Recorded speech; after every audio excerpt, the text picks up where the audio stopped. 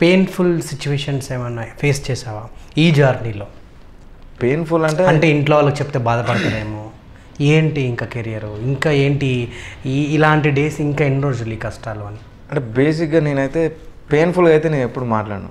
అంటే మన లైఫ్లో బాధ ఉంటుంది బట్ కాకపోతే బయటికి అంటే మనకు అన్ని సందర్భంలో షేర్ చేసుకునే సందర్భాలు రావు కాబట్టి. ఇప్పుడు సందర్భం వచ్చింది కాబట్టి అడుగుతున్నాను. ఎందుకంటే ప్రతి ఒక్కరి లైఫ్లో కొన్ని స్ట్రగుల్స్ ఫేస్ చేస్తేనే మనం ఒక పొజిషన్కి వస్తాం. వితౌట్ స్ట్రగుల్స్ వీ కాన్ ఈ ఈ పొజిషన్కి అయితే మనం రాలేము కదా. సో పెయిన్ఫుల్ అంటే ఏం లేదు బట్ కాకపోతే ఏంటంటే కొంచెం మాది పూర్ అండ్ చాలా పూర్ ఫ్యామిలీ ఉమ్.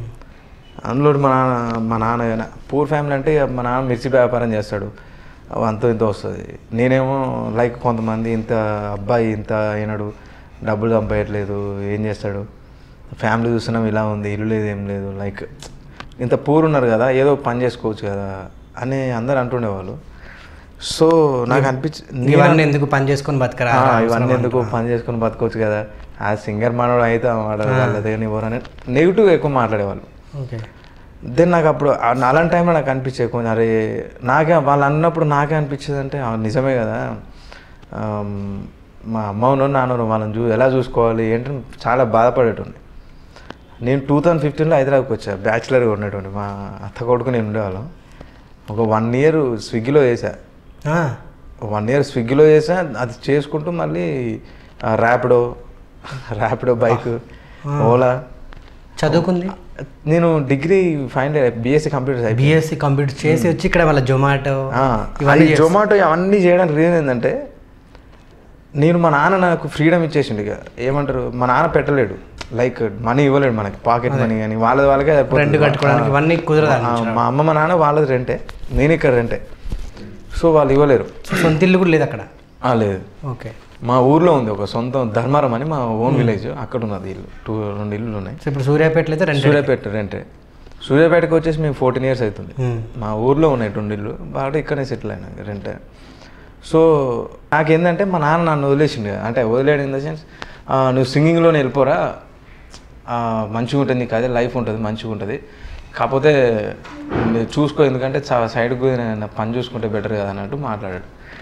దెన్ నేను మా నాన్న వాళ్ళని ఇబ్బంది పెట్టడం నాకు ఇష్టం లేదు. ఎందుకంటే మనం ఇంత twenty four twenty three years వచ్చినాక వాళ్ళని అడిగితే బాగుండదని నేను గిల్ట్ ఫీల్ అయ్యేటోని మా ఎందుకు అడగడని ఓలా ర్యాపిడో స్విగ్గీ. ఓలో ర్యాపిడో కూడా. ఓలా ర్యాపిడో చేశాను నేను. హైదరాబాద్ మొత్తం తిరిగేసిన ఓలా ర్యాపిడో ఓలా ర్యాపిడో వల్ల.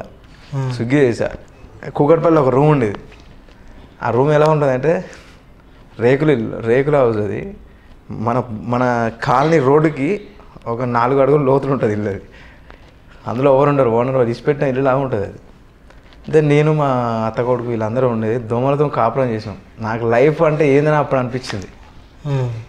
ఏంది లైఫ్ ఏంది ఇదేంది ఇలా స్విగ్గీలో చేయడం ఏంది?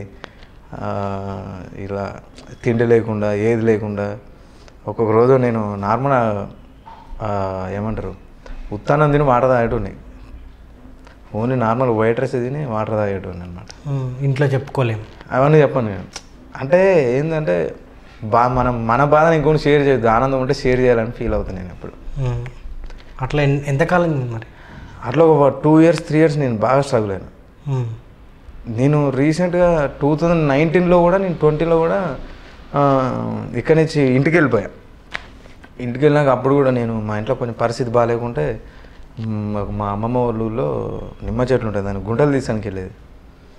గడ్డపార పట్టుకున్నా గ- చిన్నప్పటి నుంచి పని అలవాటే కాకపోతే మరీ అంత కష్టపడలేము. అంటే సో ఆ రోజు ఏమైందంటే తోముతాం కదా మట్టి. పొక్కులు వచ్చినాయి చేతికి. పొక్కులు వచ్చినాక ఏ ఎవ- ఎవరైనా పని చేస్తే ఏడో ఏడుస్తారో ఏడో తెలియదు నేనైతే ఏడ్చా. ఆ. పొక్కులను చూసి అన్నం తినాలే నాకు. అన్నం తినేకి లేదు. నేను మా తమ్ముడు మా అత్త కొడుకు వెళ్ళేవాళ్ళు ముగ్గురు వెళ్ళేటోళ్ళం. నా చేయిలా చూసుకుంటే మొత్తం ఎర్ర పొక్కులు వచ్చేసి అన్నం తింటుంటే చేతులు మండుతున్నాయి. ఆ ఫేస్ చూస్తేనే మొత్తం లోపలికి గుంజుకొని పోయింది. ఒకసారి నేను అప్పుడు ఏం చేశానంటే నేను ఒక ఫోన్ ఉంది. ఒకసారి ఎందుకైనా మంచిది ఇది ఫోటో తీసుకుందాం అనుకొని సెల్ఫీ తీసుకున్నాను నేను ఏడ్చుకుంటూ. ఒకవేళ మనం ఫ్యూచర్లో సెటిల్ అయితే ఇది చూసుకోవాలి రా అని. అప్పుడు ఏడ్చాను నేను. లైఫ్ ఏంది అసలు అని. సో ఇక్కడికి వచ్చినాక స్విగ్గీలో పనిచేసారు జొమాటోలో పనిచేసారు ఊబర్ ఓలా సో అవి డ్రాపింగ్ పికప్.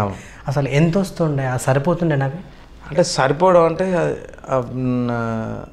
వచ్చాయి. ఒక పాకెట్ మనీ మందం ఒక డైలీ ఒక ఎయిట్ హండ్రెడ్ సెవెన్ హండ్రెడ్ అలా వచ్చాయి. పెట్రోల్ పోను. మళ్ళీ పెట్రోల్ ఖర్చులు మళ్ళీ పెట్రోల్ ఖర్చులు పోను. ఒక నేను మార్నింగ్ టెన్కి వెళ్తే మళ్ళీ ఈవినింగ్ నైట్ వన్కి వచ్చేటాం రూమ్కి బా. ఎలా రూమ్కి వెళ్ళి మనం చేసేది ఏం లేదు. దోమలతో సంసారం చేయాలి. అది ఫ్యాన్ ఉండేది కాదు. పైన తిరిగే ఫ్యాన్ ఉండేది కాదు. టేబుల్ ఫ్యాను కింద సాప బండలు నాప బండలు అంటారు కదా ఆ టైప్ ఉండేది. అసలు దోమలు ఎలా అంటే దోమలు కరుస్తుంటేనే తిన్ తినేటోళ్ళం తినేటోళ్ళం మేము. ఏమన్నా స్విగ్గీకి వెళ్తే బిర్యానీ తినేటోళ్ళం లేకుంటే బయట తినేటోళ్ళం. లేకుంటే ఏది లేకుంటే కథం పస్తులు వాడు పడుకోవాల్సిందే. అంతే. సో ఏదన్నా అంటే రూమ్ రెంట్ ఇదంతా వెళ్తుండేనా? ఓకేనా?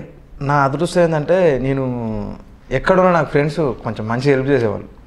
ఇప్పుడు నేను మా అత్త కొడుకు నేను అన్నాను కదా అది యాక్చువల్లీ అందులో వాళ్ళ ఫ్రెండ్ ఎవరు వేరే ఆ ఇల్లు ఓనర్ దగ్గర మా జాబ్ చేస్తుండే. సో ఇల్లు మా మీరు ఉండండి అని మాకు అంటే నేను నేను ఉంటా కొన్ని రోజులు అని రిక్వెస్ట్ చేసి నేను ఉన్నా. ఒక రెంట్ కొన్ని రోజులు తర్వాత నేను ఉప్పలో రెంట్ కట్టుకుంటూ అప్పుడప్పుడు నాకు చిన్న చిన్న రికార్డింగ్స్ వస్తుండేవి అప్పుడే షార్ట్ ఫిల్మ్స్లో. టూ థౌజండ్ సిక్స్టీన్ నుంచే నేను షార్ట్ ఫిల్మ్లో వాడడం ఆల్బమ్స్లో వాడేవాడిని ఓకే అవి వెళ్ళినప్పుడు వాళ్ళు ఒక త్రీ థౌజండ్ ఫోర్ థౌజండ్ అలా రూమ్ రెంట్ మందం వచ్చేది. సో అలా పెయిన్ఫుల్ డేస్ చాలా ఉన్నాయి చాలా చెప్పుకోలేని. నాకు తెలిసి ఈ ఇంటర్వ్యూ ధర అందరు వింటారేమో ఈ painful days okay and Zee తెలుగులో మీకు బాగా అంటే మీకు నచ్చినటువంటి పాట ఏంది? మీ మీరు పాడుకున్నప్పుడు. నేను నేను పాడిన పాట. మీకు నచ్చింది. నేను పాడిన సాంగ్స్లో నాకు నచ్చింది యాక్చువల్ నాకు నేను నేనుగా లేనే సాంగ్స్ తోటి నాకు బాగా నేమ్ వచ్చింది. నిజం చెప్పాలంటే. మన్మధుడు మూవీలో నేను నేనుగా లేనే సాంగ్తో నాకు బాగా ఫేమ్ వచ్చింది. ఎక్కడికి వెళ్ళినా సాంగ్ మాత్రం పక్కా ఇప్పుడు వాడాల్సింది నేను సరే హమ్ చేయండి ఒకసారి. నేను నేనుగా లేనే నిన్న మొన్నలా లేనిపోని ఊహల్లో ఏమిటో ఇలా ఉన్న పాటుగా ఏదో కొత్త జన్మలా ఇప్పుడే ఇక్కడే పుట్టినట్టుగా నేను నేనుగా లేనే నిన్న మొన్నలా లేనిపోని ఊహల్లో ఏమిటో ఇలా? ఉన్న పాటుగా ఏదో కొత్త జన్మలా ఇప్పుడే ఇక్కడే పుట్టినట్టుగా. సూపర్. సో అంటే ఇన్ని పెయిన్ఫుల్ అంటే సిచ్యువేషన్స్ అన్నీ షేర్ చేసుకున్నారు కదా. ఈ పెయిన్ఫుల్ జర్నీలో అంటే ఇంటి దగ్గర ఇంతకుముందు మీరు అన్నారు. ఆ రోజు అంత కష్టపడి అంటే మిరప ఏంటి నిమ్మ చెట్లు పెట్టడానికి పోయినప్పుడు బొందలు తీసినాం మొత్తం చేతికి పొక్కులు వచ్చి ఏడ్చిన అని ఎవరితో చెప్పుకోకుండా. హైదరాబాద్ ఉన్నప్పుడు కూడా అలా చెప్పుకోని రోజులు ఉన్నాయా? ఏడ్చిన రోజులు? నాలో ఏంటంటే ఇది రూమ్లో అంతే. అంటే అదే ఏడుపు ఉండేది. అది మామూలు ఏడుపు కాదు అసలు. నిద్ర పట్టేది కాదు. దోమలు అనిపించిందా? ఎందుకు వచ్చిండ్రు హైదరాబాద్? వర్షం వచ్చేది? ఉడకపో ఎండ సమ్మర్ వచ్చి వర్షం వస్తే తడిసేది. సమ్మర్ వస్తే ఉడకపోతుంది. ఏంద్రా చలికాలం వస్తే చలి పెట్టు. ఆ, స- ఏంద్రా బాయ్ లైఫ్ అనిపించింది. నిజం చెప్పాలంటే లైఫ్ అనేది ఇలా ఉంటుంది అనిపించింది నాకు. అంటే ఒకరిని అడగలేము మనం ప్రైవేట్ జాబ్ చేద్దామంటే ప్రైవేట్ జాబ్ చేయడం నాకు ఎందుకు నాకు? ప్రైవేట్ జాబ్ అంటే మళ్ళీ వాళ్ళ దగ్గరికి వెళ్ళడం మళ్ళీ సింగింగ్ డిస్టర్బ్ అవుద్దేమో. అని ప్రైవేట్ జాబ్కి వెళ్ళకపోయేవాడిని. ఇలా ఇవన్నీ పెయిన్ఫుల్ డేసే బట్ కాకపోతే ఏంటంటే నాకు ఎప్పటికప్పుడు ఎవరో ఒకరు లైక్ ఫ్రెండ్స్ కానీ ఎవరు సపోర్టింగ్ ఉండేది. ఓకే. సో సంగీతం నేర్చుకున్నారా? మీ లేదండి. పాడుతూ ఇట్లా పాడడం పాడడమే పాడడమే నేను. అంతే. నేను సరిగమపాకు వచ్చినాక మొదలు స్టార్ట్ చేశాను సంగీతం. ఏ కర్ణాటక సంగీతం? ఏది నేర్చుకుంటారు? కర్ణాటక నేర్చు కర్ణాటకనే. సో సంగీతం నేర్చుకోకముందు